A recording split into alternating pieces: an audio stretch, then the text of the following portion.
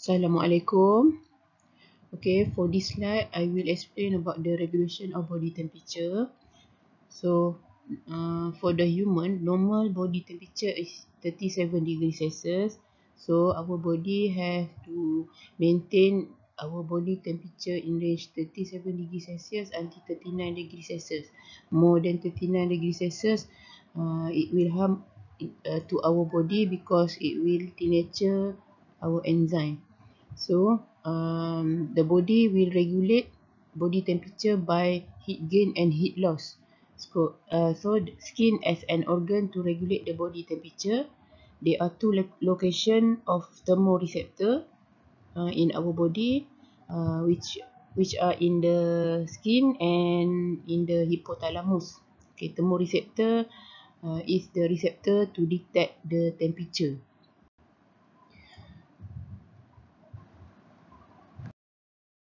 Okay, this is the cross section of the skin. We have learned about the cross section of the skin during form 2. Okay, uh, there are several types of receptor, which is warm receptor and cold receptor, uh, related to body temperature. Okay.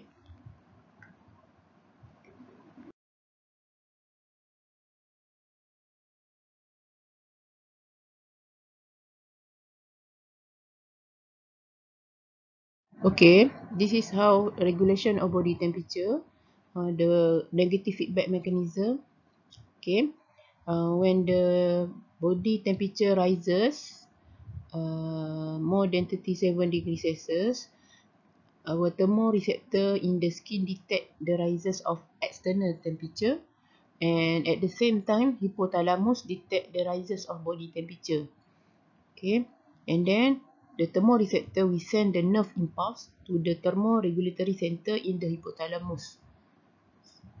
So it means uh, the hypothalamus contain uh, thermoreceptor and thermoregulatory center. And then uh, thermoregulatory center uh, will interpret the information and send the nerve impulse to the effector. So effector will respond by physical and metabolism means. Okay, and then uh, after effector do the corrective mechanism, uh, our our normal body temperature will fall into the our body temperature will fall into the normal temperature. Uh, so uh, the same uh, the same mechanism also occur when our normal body temperature falls. Okay. Uh, Carta ini menunjukkan tentang apabila bad, ber, uh, apabila suhu badan kita meningkat, ada dua reseptor yang akan detect iaitu thermoreceptor dekat kulit dan thermo uh, thermoreceptor dekat hipotalamus.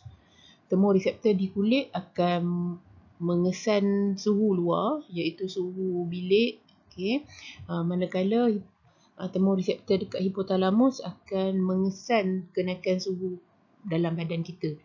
Uh, maka thermoreceptor ni akan hantar impuls pergi dekat satu uh, bahagian di dalam hipotalamus yang kita panggil thermoregulatory thermoregulatory uh, regulatory center. Uh, kemudian thermoregulatory center ni akan me, menganalisis maklumat tu kemudian akan me, uh, mengeluarkan arahan ataupun uh, respon yang sesuai kepada efektor efektor akan bertindak untuk menurunkan semula body temperature. Samalah juga seperti apabila suhu badan kita menurun. Uh, untuk next slide, uh, cikgu akan discuss lebih kepada apa respon yang dilakukan oleh efektor.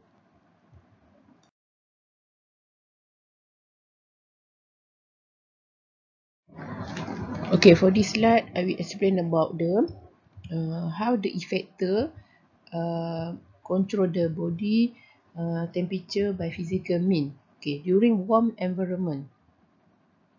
Okay, uh, we have air, we have hair erector muscle in our skin. You get to the picture below. Okay, hair erector muscle will relax, so it will make our hair lie flat. And when our hair lie flat, little air is trapped. Okay, look at to the picture below.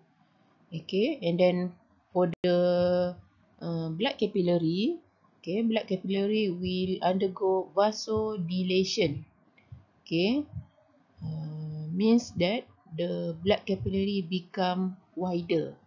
So more blood flow close to the body surface and heat loss by conduction and radiation is increased.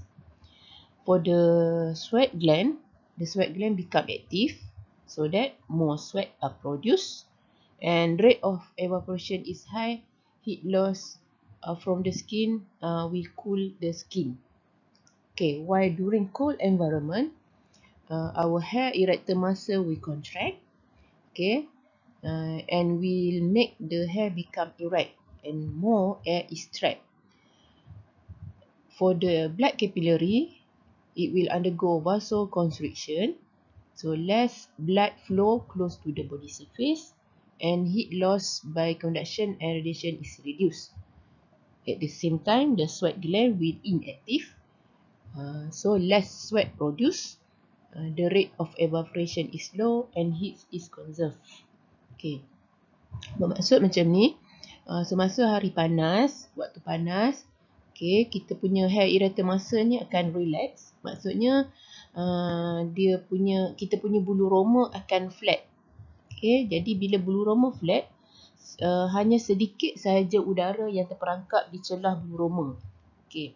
Uh, manakala untuk blood capillary, okey, vasodilation ni maksudnya blood capillary mengembang. Jadi bila dia mengembang, um, um, darah akan banyak uh, ber, apa nama darah akan lebih kepada body surface. Jadi uh, menyebabkan uh, kehilangan haba melalui conduction dengan radiation tu meningkat. Yang kita boleh perhatikan bila waktu panas uh, selalunya uh, kulit muka kita uh, kemerah-merahan ya. Ini menunjukkan vasodilation berlaku untuk membebaskan haba. Uh, dan sweat gland ni seperti biasalah waktu panas mestilah sweat gland akan aktif jadi kita lebih banyak berpeluh.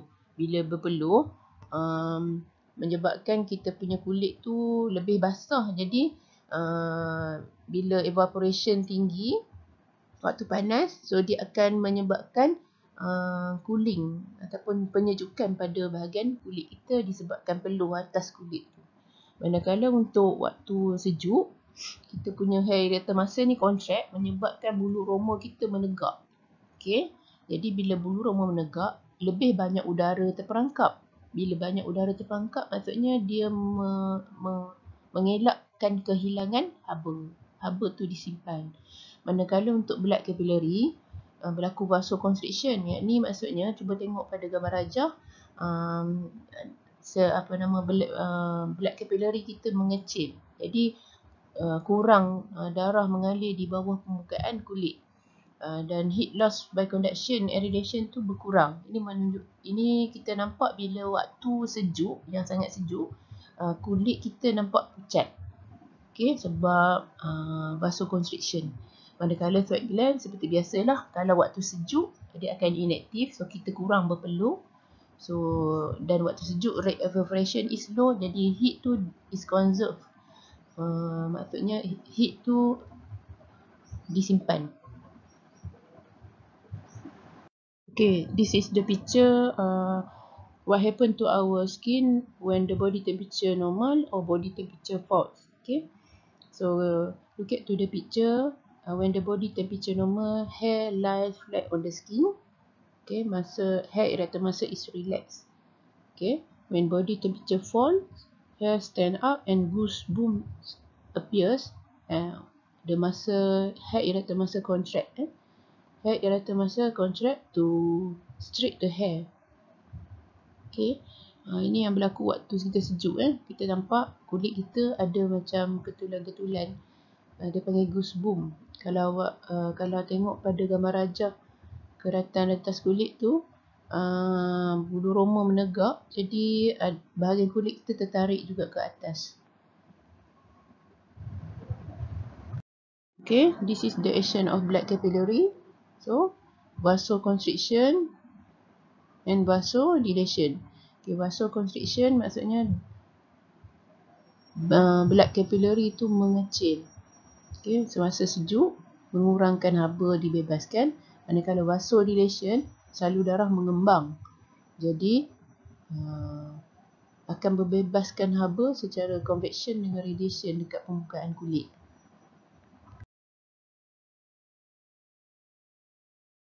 Okay, this is how the regulation of body temperature by metabolism. Okay, how the uh, action of muscle, uh, adrenal gland and thyroid gland.